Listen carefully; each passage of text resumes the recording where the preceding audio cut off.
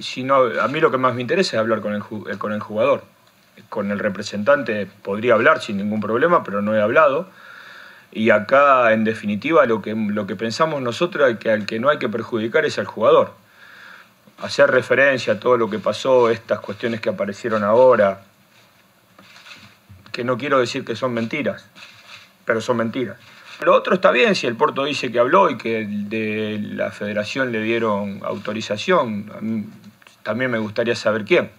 O sea, tampoco, ni siquiera quiero que presenten una nota. Digo, me gustaría saber quién, después que yo hable con el jugador el día domingo por la mañana del viaje, diga, bueno, hablamos con tal persona en la federación y nos dijo que el jugador no tenía que venir. Porque evidentemente estaríamos en una sintonía diferente con lo que yo hablé con el futbolista. Nada más.